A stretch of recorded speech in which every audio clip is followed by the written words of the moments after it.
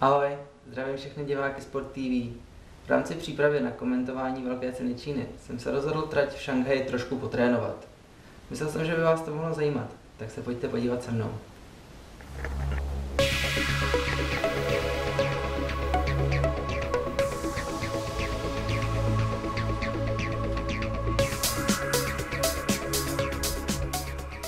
Najíždíme na cílovou rovinku, je potřeba hodně, hodně dobrý průjezd této poslední zatáčky, aby jsme si udrželi rychlost na celou tu cílovou rovinku. DRS otevřené a tady bude takové zvláštní brždění, brzdí se až potom, co se začne zatáčet. Opravdu dlouhá a pořád se utahující zatáčka. Jezdci po, průběžně zpomalují a prořadí z osmičky až do dvojky a tady až do jedničky. Zatáčka doleva, která je pořád v akceleraci, musí jezdci využívat tzv. short shift, což znamená, že řadí o něco dřív, než by normálně měli, aby udrželi trakci.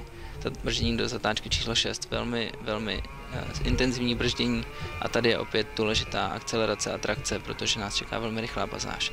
Zatáčka číslo 7, velmi rychlá, skoro na plný plyn, musí se akorát v půlce trošku ubrat, ať se udrží do, dole čumák. A teď je důležité držet si tu správnou stopu, protože v momentě, kdy si trošku ta stopa rozhodí, celá tahle pasáž je špatně. Zatáčka, teď co nás čeká doleva, je velmi rychlá, zase důležitá, protože ji čeká potom rovinka a teď brždění do zatáčky číslo 11. Předposlední eh, silné brždění a je důležité si tady právě načasovat dobře tu stopu, protože tahle ta zatáčka je nejdůležitější, protože ji čeká nejdelší rovinka potom. Jezdci opět využívají takzvaný short shift, aby si udrželi tu trakci. Je velmi těžké se zorientovat, kde přesně je na trati, protože nejede eh, jezdec u kraje, ale jede právě po prostředku. A teď nás čeká nejsilnější brzdění celé trati po nejdelší rovince.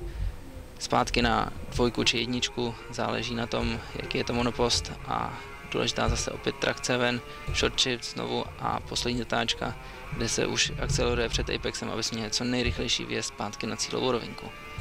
Tak to byla trať Šanghaje v podání mě.